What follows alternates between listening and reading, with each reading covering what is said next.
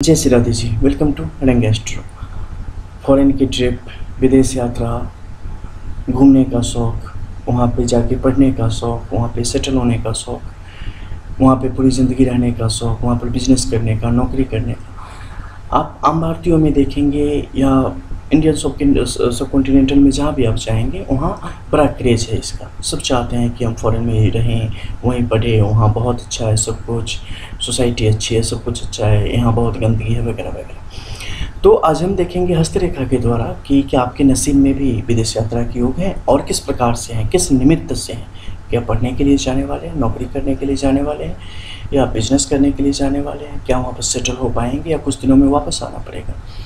क्या वहीं पर शादी होगी, बच्चे होंगे, क्या वहीं पर आगे की पूरी ज़िंदगी जाने वाली है या डिपोर्ट कर दिया जाएगा एट्सेट्रा जो भी चीज़ें होती हैं।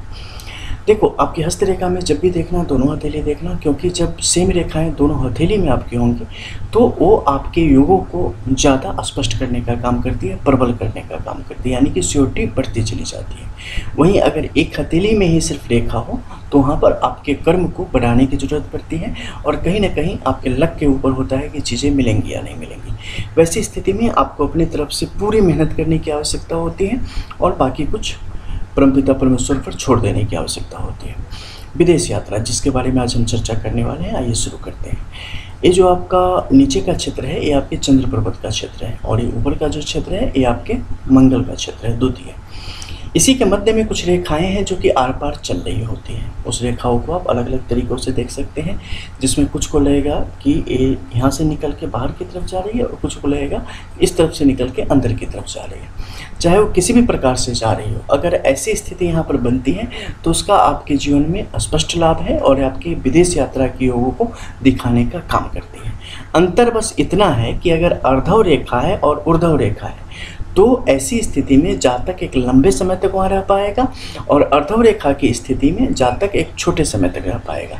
अगर कोई भी रेखा यहाँ पर बाहर से अंदर की तरफ़ आती है ऊर्धव स्थिति में, ऐसी स्थिति में जातक विदेश यात्रा को जाएगा, लंबे समय तक वहाँ पर रहेगा, नौकरी भी करेगा बिज़नेस को भी बढ़ाएगा सेटल भी हो सकता है। इसके अलावा अन्य कुछ रेखाओं का सहयोग होगा तो शादी वहीं होगी, बच्चे वही होंगे, उसके विषय में भी बताएँगे। लेकिन अगर अर्धव रेखा की स्थिति हो, यानी कि इस तरफ़ से बाहर की तरफ़ जा रही हो, ऐसी स्थिति में जहाँ तक कुछ समय तक वहाँ जाएगा, किसी प्रोजेक्ट के लिए जाएगा, तीन या चार साल के, पाँच साल के टेन्योर पर जाएगा, या एक छोटी समय के लिए जाएगा, फिर वापस आ जाएगा। इससे ज़्यादा उसका वहाँ पर कोई सेटलमेंट नहीं होगा। इसके अलावा यहाँ पर एक और स्थिति बनेगी जिसमें रेखाएँ कट कट के आगे की तरफ़ बढ़ेंगी। ये रेखाएँ आपकी छोटी छोटी यात्राओं को भी वहाँ पर दर्शाने का काम करती हैं और कई बार स्वास्थ्य संबंधी समस्याओं के कारण वापस आ जाने की स्थिति को भी दर्शाती हैं। इसके लिए आपको बुद्ध की रेखा और स्वास्थ्य रेखा, इन दोनों को भी यहाँ पर देखना पड़ेगा कि रेखाएँ कैसी जा रही हैं। क्योंकि इस रेखा पर जो भी प्रभाव है, उसका पूरा लिंक आपको आपके हाथ में फैला हुआ है। उसके द्वारा आप उसे देख सकते हैं। ठीक है, अब यहाँ पर कुछ अन्य स्थिति भी आपको देखने को मिल सकती है। जैसे रेखा ऐसे आई और यहाँ पे आके ऐसे हो गई। ये इस स्थिति को दर्शाती है। यहाँ पर क्या होगा कि जातक अपने घर से, यानी कि जन्म स्थान जो उनका है, वहाँ से किसी और शहर में रहेंगे और उस शहर से जाने के बाद वो फिर विदेश प्रवास पर जाएँगे। और जब विदेश प्रवास से एक लंबे समय के बाद लौटेंगे, उसके बाद भी अपने जन्म स्थान पर नहीं रहेंगे, बल्कि किसी और शहर में जाके वो बस जाएँगे। और उनका कनेक्शन विदेश के साथ उसी प्रकार बना रहेगा। व्यापारिक और नौकरी वाला जो भी काम है, वो उसके साथ कनेक्टेड रहेगा और मल्टीनेशनल कंपनियों के साथ या उस तरीके का व्यापार ये लोग करेंगे तो उसमें इनके लिए सफलता के योग स्पष्ट तौर पर बनते रहेंगे। अब यहाँ पर नीचे की तरफ़ आती है, अगर रेखाओं की स्थिति, इन दोनों में से किसी भी रेखा, या अगर ये सिंगल रेखा है, इस पर नीचे की तरफ़ बने और आपके दाहिनी तरफ़ जाती स्थिति दिखावे छोटी छोटी लाइनें। इन स्थिति का मतलब होता है कि जहाँ तक विदेश में ही रहेगा, लंबे समय तक विवाह करेगा, वहीं पर बच्चे की स्थिति भी बन जाती है। कई दफ़े समझना आपके लिए पेचीदा हो सकता है, क्योंकि जैसा हम बताते हैं, हमेशा रेखा उसी प्रकार से क्लियर एक्यूरेट सीधी नहीं होती। तो जब हम उन्हें देखते हैं तो ज़्यादा स्पष्ट कर सकते हैं, लेकिन आप लोगों के लिए बस समझने के लिए बता रहे हैं इन चीज़ों को, ठीक है? अब यहाँ पर कुछ अन्य स्थिति भी आपको देखने को मिलेगी। जैसे रेखा सीधी इस तरफ़ बढ़ी है, किसी रेखा ने इसे काट दिया है। अगर ये रेखा जिसने काटा है, इसकी दूरी बस इतनी ही है, यानी कि ये भाग्य रेखा नहीं है तो इसके जो लाभ आपको मिलने थे, उसे खंडित करने का काम करेगा या कमज़ोर करने का काम करेगा। ऐसी स्थिति में आप चाहेंगे बहुत, लेकिन योग नहीं बन पाएँगे। किसी न किसी कारण आप पीछे छूट जाएँगे और आपको नुकसान उठाना पड़ेगा। इसके अलावा अगर आप देखते हैं कि विदेश जाके आप क्या करने वाले हैं, किस निमित्त वहाँ जाने वाले हैं, क्या नौकरी करेंगे, क्या व्यापार करेंगे या पढ़ाई करने जा रहे हैं, उसके लिए आपको देखना पड़ेगा रेखाओं की स्थिति। रेखाएँ कितनी ज़्यादा संजीदा हैं, कितनी गहरी हैं। अगर काफ़ी गहरी होकर शुरुआत से आगे बढ़ी है, ऐसी स्थिति में आप पढ़ाई के लिए जाने वाले हैं, वहाँ लंबे समय तक रहेंगे, पढ़ाई करेंगे और अगर ये रेखा पूरी लंबी इस क्षेत्र तक आ गई है, बुद्ध की रेखा या जीवन रेखा से इसका जुड़ाव हो गया है तो ऐसी स्थिति में आप वहीं पर नौकरी करेंगे और अपने जीवन को आगे लेके जाएँगे।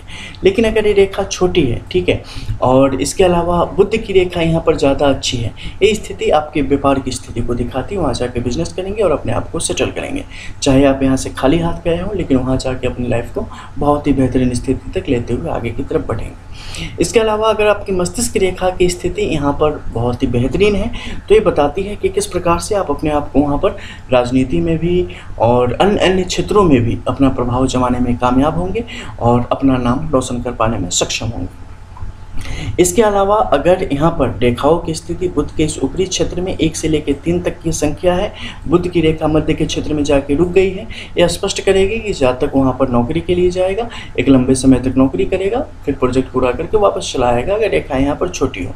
अगर रेखाएँ यहाँ पर बड़ी हों तो लंबे समय तक वहाँ रहेगा, अपनी इच्छा अनुसार कुछ दिन रहने के बाद फिर वापस जो उसका देश है, वहाँ पर चला जाएगा, और फिर वहाँ पर किसी अच्छे शहर की तरफ़ बढ़ेगा मूव करेगा, और वहाँ पर रख के विदेश के साथ अपने संबंधों को बरकरार रखेगा। इसके अलावा ऊपरी क्षेत्र में इस रेखाओं के साथ अगर कोई रेखा चलती है तो यह स्पष्ट करती है कि जब तक की जो आने वाली पीढ़ियाँ हैं, वो भी विदेश में रहेंगी और वहीं पर वो अपने आप को वहीं का, वहीं की नागरिकता भी प्राप्त करेंगे और अपने आप को वहीं पर सेटल कर लेंगे। जो कि आने वाली पीढ़ियों के लिए वैसे भी आपकी सोच होती है। इसके अलावा आप जब वहाँ पर रहेंगे तो किस प्रकार से आपके जीवन में लाभ मिलेगा, उसे समझने के लिए आपको पूरी हथेली को देखना अत्यंत आवश्यक होता है। गुरु का क्षेत्र जितना ज़्यादा प्रबल होगा, आपके लिए परिस्थिति उतनी आसान होगी और बहुत जल्दी आप वहाँ पर पानी में नमक और चीनी की तरह घुलते चले जाएँगे। अगर शनि की स्थिति आपके पक्ष में वहाँ पर होगी तो आप बहुत जल्द अपना वहाँ पर अच्छा खासा नाम कर लेंगे और अपने आप को स्थापित कर लेंगे, फिर आपको कोई डिगा नहीं पाएगा। लेकिन अगर स्थिति इनकी अच्छी नहीं हुई तो स्वास्थ्य संबंधी और आर्थिक परेशानियों के कारण आपको विदेश प्रवास आपका छूट जाएगा और आपको बाहर की तरफ़ फिर से वापस अपने देश की तरफ़ लौटना पड़ेगा। सूर्य की स्थिति अगर आपके पक्ष में यहाँ पर होगी तो वहाँ पर आपका दखल भी हो जाएगा सिस्टम में भी और व्यापार में भी आपका अच्छा खासा दखल रहेगा और आपका नाम एक बेहतर वहाँ के इंडियन सोसाइटी में और लोगों के लिए भी एक मिसाल के तौर पर लिए जाने की स्थिति रहेगी। लेकिन इसकी स्थिति अगर अच्छी न हो तो ऐसी स्थिति में बदनामी बड़ी होगी। आप पर विभिन्न प्रकार के आरोप और कुछ मुश्किलें आपके जीवन की तरफ़ बढ़ सकती हैं। ये अलग अलग हथेलियों के अनुसार आपको दिख सकते हैं इसके प्रभाव। बुद्ध की स्थिति अच्छी होने पर, चिकित्सा के क्षेत्र में लॉ के क्षेत्र में भी और एकेडमिक भी आप अपने आप को बेहतर तरीके से साबित कर सकते हैं और जीवन को सही दिशा देने का काम कर सकते हैं। मध्य के क्षेत्र में अगर धनपेटी की स्थिति आपके लिए बनती है, वो भी आपके लिए काफ़ी सुंदर है और आपके बेहतर योगों को ये दर्शाने का काम करती है। मान लो बहुत सारे ऐसे लोग हैं जिनकी हथेली में चंद्र के क्षेत्र में रेखाओं की स्थिति अच्छी नहीं बन पड़ी है। वैसी स्थिति में आपका शनि और सूर्य महत्वपूर्ण भूमिका निभाता है। आपके लक को बढ़ा के आपके जीवन को बेहतर करने का, विदेश की जो सेटलमेंट की स्थिति है, उसे आपके लिए स्पष्ट करने का। तो मोटे तौर पे आप समझ गए होंगे कि ये रेखा कैसे काम करती है और किस प्रकार आप विदेश यात्रा का लाभ या वहाँ पर सेटल होने का लाभ उठा सकते हैं। इसके अलावा इसके बारे में और बारीक से जानना हो, बिल्कुल क्रिस्टल क्लियर तो अपनी हस्तरेखा के दिन के द्वारा इनके बारे में आप जान सकते हैं। मिलते हैं फिर, तब तक के लिए जय जय Radhe. One and one day real astro रंग एस्ट्रो